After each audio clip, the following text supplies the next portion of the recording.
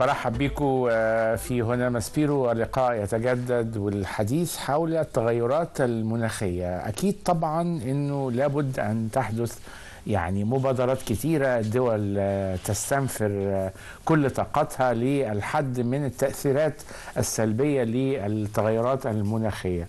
واحدة من أهم الأحداث اللي حصلت يعني المبادرة مبادرة الشرق الأوسط الأخضر. أخضر إن إحنا في مبادرة تدخل فيها كذا دولة في مجهودات في تأثيرات اقتصادية في تأثيرات مناخية في تأثيرات اجتماعية لا شك.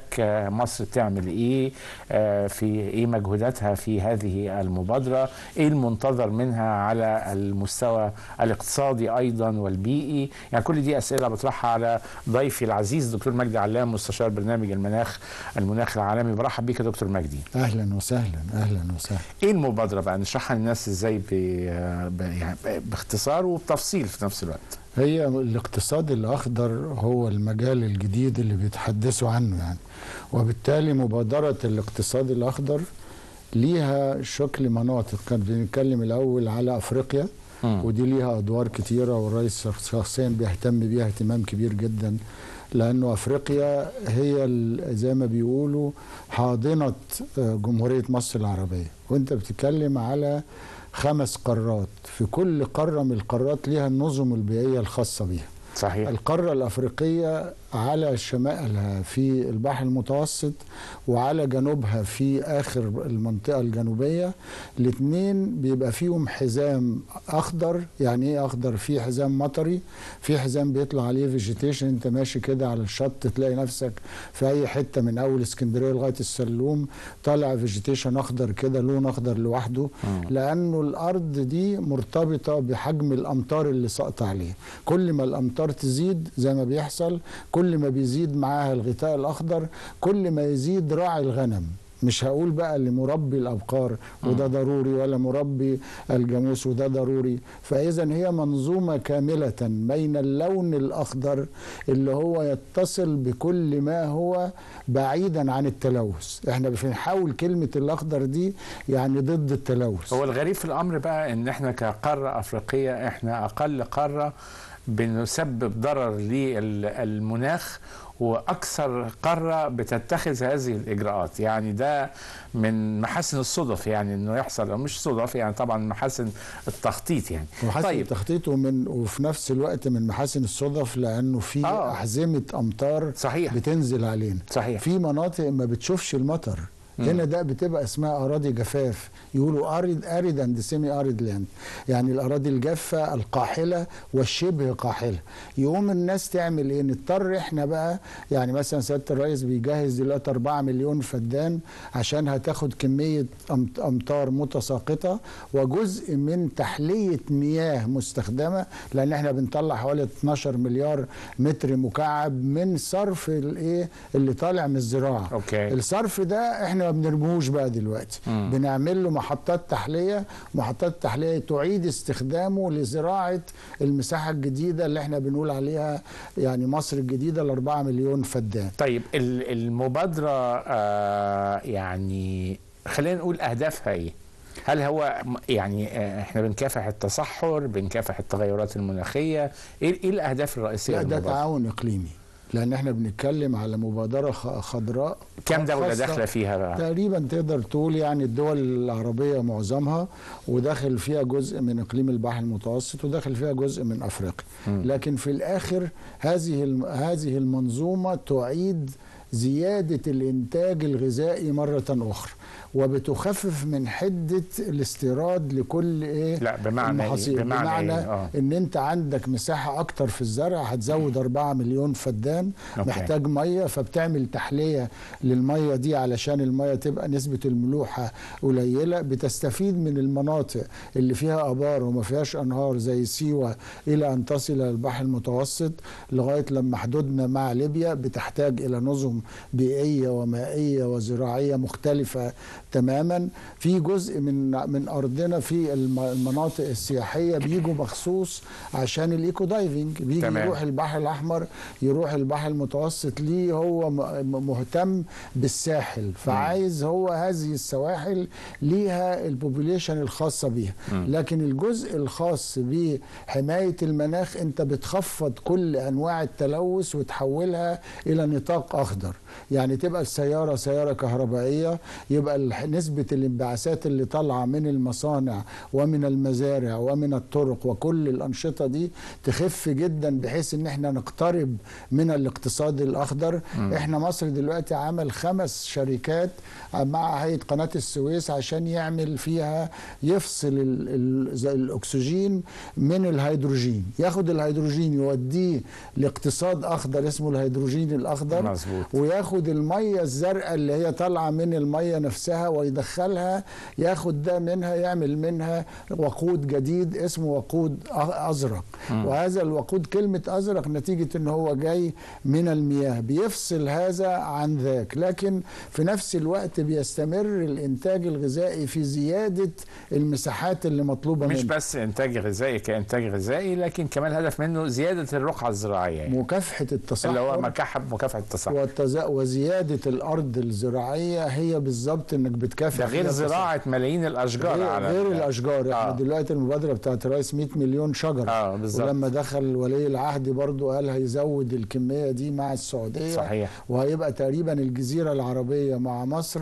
هيكملوا بعد كده مع باقي الدول العربية في برنامج واسع جدا لعودة الحزام الأخضر، الحزام الأخضر كان بدأ أيام الدكتور طلبة والدكتور القصاص وبدأوا من ناحية الجزائر بحيث ان هو يكمل للجزيره العربية، في آخر لقاء ما بين الرئيس السيسي وولي العهد السعودي اتفق على زيادة المساحات صحيح. الخضراء اللي طيب. تخصص لهذا. مين هيمول هذه المبادرة كل الدول المشاركة كل الدول المشاركة بس التمويل الأكثر من المملكة السعودية ومن الجزيرة ال- العربية. تمام. وفي نفس الوقت مساهمة مصر إحنا قلنا هنكتب هنساهم بال مليون شجرة. مم. وال مليون شجرة تم تطبيق تقريبا أكثر من 38% آه يعني 100 مليون شجرة داخله داخل هذه المبادرة. آه. تمام. ده 38% تقريبا قربنا نخلصها على مزا مد- يعني مدار المحافظات ومراكز المدن. لو تلاحظ هتلاقي دلوقتي معظم المدن وال- والمراكز والمحافظات بقى فيها الجزيرة الكبيرة دي اللي هي الخضراء الحديقة الخضراء. مم. وطبعا كان حصل لغط على جزء ما لما حصل مدينة نصر لكن الناس اتضح ليها إن المساحة الخضراء ستعاد مرة أخرى. وأنا كنت في لقاء قريب من ثلاث أيام مع محافظ القاهرة وراجل مهتم جدا بالنشاط الأخضر. وفي زيادة للمساحات الخضراء وزار بنفسه المساحات اللي هيضاف يعني اذا الإجراءات. في- اللي في المبادرة ال- ال- الملايين الأشجار اللي هتزيد إن شاء الله بعد دخول السعودية آه، زيادة الرقعة الزراعية في المنتجات الغذائية إيه كمان لا في كثير بقى أنت بتح- بتحسن المناخ كله إحنا آه. ما ننساش بس إن كل ده في إطار التأقلم والتخفيف. فالتأقلم إن أنا أقدر أزرع مع درجة الحرارة اللي تعلى مع الجفاف اللي يعلى مع الملوحة اللي, اللي تزيد كل ده بجهز نفسي علشان ما يحصلش ضرر كبير ومباشر في حجم الحاصلات. okay. وإحنا في مصر بس 12 مليون فدان للزراعة لوحدها غير ال 4 مليون فدان اللي بيتموا حاليا. الجزء اللي أهم في هذا الموضوع إحنا بقى بنبص له كخبراء بيئة ومناخ إن كل ما أنت تزرع 12 مليون فدان شجر وأوراق و- ومناطق خضراء كل ما بتقلل أكاسيد الكربون. تمام. وكل ما أنا أقل أكاسيد الكربون أقدر أتقدم للهيئات الدولية في إن أنا الكربون كريدت اللي هو مقياس على التخفيف ال- الكربون باخد قدامه تقريبا على الطن 35 دولار عشان أخفضه. في هذا التخفيض بقى في هنا بقى ثلاث منافع. بقى في حاجة بتزرع بقت تحقق غذاء في نفس الوقت ما بحرقش بقايا القصب ولا بقايا قش الرز زي ما كان بيحدث. وبيحصل تدوير في biogas بعمله غاز حيوي ما بولعش فيه. إن الست الفلاحة دلوقتي بتاخد ماسورة ما عندهاش بوتاجاز البوتاجاز تجيب الأنبوبة البوتاجاز البوتاجاز بتاعتها واصل بماسورة على مخزن صغير حاطين فيه بقايا الر- الرز اللي كنا بن- بنحرقه. وبقايا القصب اللي كان بيتحرق والبرسيم الناشف كل ده دلوقتي بقى هو biomass يعني كتلة حيوية وال biomass ده يطلع biogas غاز حيوي والغاز الحيوي وزيرة البيئة دلوقتي يعني اتشطرت وعملت شغل مع آه، وزير دي, دي, الزراعة دي يعني هيئات بتعمله هيئات مش, مش الست. الفلاحة هي اللي هتعمله لا ده. وزارة الزراعة آه يعني وزاره الست الفلاحه بتلاقي الغاز آه بس هي جاهز. بتلاقي الغ- الغاز جاهز يعني. خلينا جاهز. نطلع لفاصل. دكتور مجدي وهنرجع آه، نواصل نشوف إيه التأثيرات الاقتصادية بقى يعني اللي ممكن تعود علينا من هذه المبادرة. وهي ممكن تاخد كام سنة؟ وهي ممكن تجيب أهدافها ونتائجها بسرعة إزاي؟ بعد الفاصل. بنواصل مع دكتور مجدي علام واحد من خبراء البيئة المعروفين جدا في مصر كمان والمنطقة العربية وبنتكلم على هذه المبادرة. يعني آه، محطوط لها time frame محطوط لها خطة تنفيذية كام سنة آه، نتائجها هقيس نجاحه إزاي؟ يعني كل ده أحب أعرفه من حضرتك. لا طبعا هي المبادرة في حد ذاتها حدث هام. تمام. والتنسيق فيه مع مجموعة دول برضو خطوة مهمة جدا.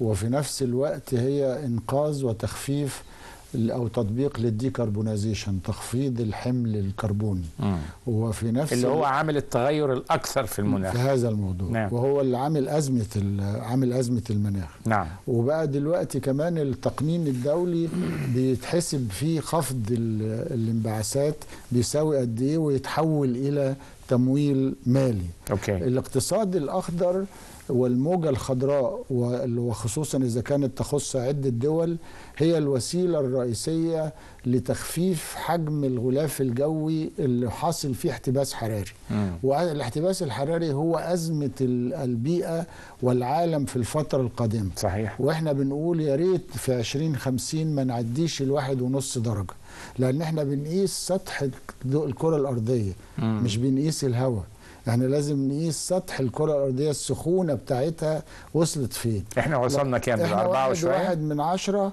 آه. وخايفين نوصل لواحد ونص عشرين خمسين. okay. لو إحنا وصلنا عشرين خمسين واحد ونص برضه هتبقى نقدر نتعامل معاها. لكن بعد لو, كده بعد هتبقى- كده هيبقى صعب جدا. مم. وهتشوف بقى مناخ مختلف. okay. يعني هتلاقي في وسط ال ال ال الشيء الربيع ده مرة واحدة extreme event يعني يجي لك تيار هواء عنيف عواصف اتربه ور- ورمال جفاف بيحول الأرض أنا عندي. سؤال ملح في الحتة دي يا دكتور مجدي يعني هو دلوقتي آه، يعني هذه المجهودات دون أن تتخذ الدول الصناعية والدول اللي بتتسبب بأكثر من 40% سواء الصين ولا ألمانيا ولا أي دول بتتسبب في التغيرات المناخية دي يعني هيأثر تأثير كبير ولا لازم هم كمان يبقى في شراكة معانا في القصة دي؟ هي دي الحقيقة الأزمة الحقيقية آه يعني لأنه إحنا لما بنقول إحنا ك- وصلنا كوب 27 وكوب 28 في الإمارات آه، 27 خلاص. في مصر و28 في الإمارات وداخلين في 29 في أذربيجان والصندوق الخاص بالخسائر والأضرار يعني ضعيف جدا ما زال التمويل اللي مطلوب رغم. إنه السنة اللي فاتت أصرينا و- ونادينا بشكل كبير إنه يزيد وكان في أمال وأحلام آه، عريضة لم تتحقق، جدا آه. لكن للأسف يعني ما زالت التمويل ضعيف. آه، جزء آخر طبعا لازم لا ننكر حجم الاضطرابات اللي شايفينه واللي سابين شايفين فيه الشكل الإسرائيلي في العالم عموما إيه آه. ومش عاملين إيه في في- كذا دولة. صحيح. على فكرة المقذوفات دي وهذا الحجم من طبعا. النيران المستخدمة ده تلوث أخطر. طبعا. لأنك بتجرب فيه كل أنواع أنواع السلاح الجديد مم. فده تلوث فوق التلوث يعني صحيح. ده غير بقى حركة النقل وحركة ال- والدخان والفحم والبترول والمازوت وكل ده كوم وكوم بقى إنك تستخدم ما حدث من هذا التوحش من الجماعة بتوع إسرائيل في التعامل مع هذه ال- المنطقة. الجزء الآخر يتعلق بإنه ما بقاش في حاجة اسمها أنا مالي يعني الفرد هو المسؤول رقم واحد وإحنا كل اللي بنطلبه من الفرد ازرع شجرة قدام البيت لا أنا أنا هرجع شجرة. لدور الفرد بس. أنا بتكلم دلوقتي على سؤالي بالتحديد اللي. عايز أعيده على حضرتك دون مساهمة الدول المتسببة في النسبة الأكبر للتغيرات المناخية هل ستجدي هذه مثل هذه لا المبادرات؟ طبعا آه. يعني, يعني مثلا ما أقبلش إن- يعني يعني إيه دولة زي إنجلترا الس- تبرعت لأفريقيا ب 15 مليون استرليني. 15 مليون استرليني. ده إنجلترا وفرنسا خدوا كل موارد العالم على مدار 200 سنة. يعني كل صحيح. الهند والصين وكل ده كانوا محتلين تحت إنجلترا وفرنسا يعني. فأنت يعني إيه يعني إيه تيجي 10 مليون مش دولار؟ مساهماتهم المالية بس كمان هل هم كمان عليهم إن هم يعني يشوفوا حل في مسألة الصناعة التي تسبب برضو آه، آه، المناخية؟ هو القرار كان واضح يعني صندوق تعويض الخسائر والأضرار ده اتعمل ووافقوا عليه كل الدول بما فيها الدول الصناعية آه، إحنا. مستغربين في البطء اللي بيتم مم. وفي القصور اللي في التمويل بيستخدموا فيه يعني لا يجوز ولا يليق إنه حجم دول 20 دولة صناعية ال 20 دولة الصناعية دول لما بيجتمعوا مع بعض ما يخصصوش كل مرة 10% زيادة من التمويل للأضرار اللي وقعت على اللي هي لا. تشكل حاجة عندهم كمان خالص. آه. ففي حاجات يعني مثلا تستغرب يعني مثلا إحنا 35% من المساحات الخضراء على سطح الكرة الأرضية يتحرق يتقطع يتولع فيه يا كذا. محدش فكر إن ال 35% دي بينقذوا البشرية. مم. طب محدش فكر أساسا إن البحر المتوسط يعتبر بحيرة وليس بحرا يعني لأنه يعتبر بحيرة مغلقة وإنه عليه 40 دولة بتطلع عليه تلوث. طب هيروح البحر المتوسط ده انت صحيح. عشان تحلي التحلية دي عندك عايز تتكلف مليارات وفي نفس الوقت لو انت انطلقت إلى المحيط الأطلنطي والمحيط الهادي نظم حتى الإدارة بتاعتها نسبة الأسيدك الحامضية في المحيط الهادي زادت مم. وفي المحيط الأطلنطي زادت لأنه حجم الانبعاثات إن يقول لك في الهواء دي مفيش في الهواء صحيح. ده المركب وهي ماشية بدخان والعربية جنب البحر بدخان والطيارة بدخان واللي بيحرق كل في ده الأرض بي- ما كل الكربون ده آه. أكاسيد الكربون وأكاسيد الكبريت وأكاسيد النيتروجين هي التي تدمر العالم حاليا طيب هل المبادرة داخل فيها يعني فضلا عن ال- الزراعة وفضلا عن التشجير. يعني داخل فيها حضرتك قلت لي لازم تبقى في استراتيجية كاملة يعني موضوع السيارات الكهربائية داخل فيها طبعا الطاقة المتجددة داخل فيها كل ده. لو دلوقتي محطات البنزين برضه عشان نديلهم حقهم وانت ماشي هتلاقي في كل محطة ماسورة صغيرة كده. هذه الماسورة ينزل واحد زي الباشا يوصل ال electric بتاعه بت- بطارية فقط. فأنت عربيتك ماشي ما فيهاش موتور. اللي هي العربيات انت الكهربائية. بتشحن أيوه آه. بتشحن البطارية بتاعتك من أول طريق مصر اسكندرية دي يوصلك لغاية اسكندرية وانت ما طلعتش zero تلوث ولا emissions طلعت منها وإحنا لازم لا ولا نهتم كبريت العربيات الكهرباء في لا الفترة بس دي بقى ليها انتشار لا علشان برضو يعني أسعار البنزين فاحنا آه، بنتكلم دي بقى ان إحنا. آه دي نقطة مهمة إن آه. إحنا لو إحنا قدرنا نعمل بديل لده الناس هتجد برضو حلول لا وبدأ الانتشار دلوقتي في على فكرة تلاقي كتير وانت ماشي على الطريق الصحراوي هتلاقي فيه اهتمام كتير جدا لأنه انظف تمام واريح في كل حاجة ومش كل شوية بقى يلحق ده العربيه باظت وده هي حتة بطاريه آه. ولا في بقى لا شكمان ولا في موتور ولا هات عم محمد يصلح مش عارف لا إيه خلاص ده. بيعملوا الفيش في البيوت دلوقتي وخلاص يعني انت بره البيت بره البيت محطوط الفيشه وعاملين طيب فيها هرجع برضو بيقولوا لي فاصل لكن أنا عندي سؤال كنت عايز اساله. بعد الفاصل اللي فات اللي هو التأثيرات الاقتصادية على المجتمعات أو على الدول اللي داخلة في هذه المبادرة مبادرة الشرق الأوسط الأخضر هتبقى إيه؟ يعني سواء آه، آه، بنتكلم على اقتصاد أو اجتماعي. وبعدين نتكلم على دور الفرد إن ده مهم لحضرتك. يعني اللي يبدو طبعا يعني ليكم للسادة المشاهدين إنه الموضوع تخصصي قوي لأ هو يعني إحنا يا جماعة عايشين على الكرة الأرضية. ده ده كوكب صغير على فكرة ضمن الكواكب اللي موجودة في الدنيا لكن كوكب خطير جدا. إحنا يعيش عليه الإنسان وكل واحد يساهم إيجابا أو سلبا في هذا التغير المناخي ثم من فرد إلى دولة ومن دولة إلى أمم إلى قارات إلى آخره. فالموضوع يعني يهم يهم كتير ال- الإنسان اللي عايش على الكرة الأرضية. خليني اخد إجابة التأثيرات الاقتصادية والاجتماعية على ال- المجتمعات أو على الدول اللي داخلة في هذه المبادرة. هو اولا فكرة التحالف والتكامل نعم. مهمة جدا. تمام. لأنه اتضح للجميع إن مفيش حد هيقدر لوحده يعمل كل حاجة. صحيح. لازم أنا هبقى شاطر في النجارة ويبقى جاري في الزجاج واللي بعد منه في الحديد فلا بد من التكامل. يعني حتة أنا لوحدي من الصعب. حتى أمريكا نفسها ولو بنتكلم على روسيا نفسها وعلى الصين نفسها على عمالقة ما الصناعة يعني لازم التكتلات هي مني في حاجة. صح. يعني حتى الصخرة في صخرة عندي مش عندك مظبوط. هتيجي تاخدها مني. مظبوط. والتاني برضو نفس الحكاية ف... فما فيش حاجة اسمها دولة لوحدها. يعني هذا الكلام كان قديم بقى من زمن الإمبراطوريات. ما بقاش هذا الكلام موجود حاليا. صحيح. ثانيا أنت لو أنت عندك 65 و75 وده لا يمكن يعني ده كلام خيالي إن أنت احتياجاتك كلها من الصعب إن أنت تعدي ال 50% يعني أتفق إن ممكن يبقى مصادرك 50% تكتفي ذاتيا. لكن 50% كمان لا مش صعب. ليه؟ لأن حاجة هتبقى موجودة عند الدولة الفلانية وده عنده الإزاز وده عنده ستيل وده عنده كذا. فلا بد أن نتكامل.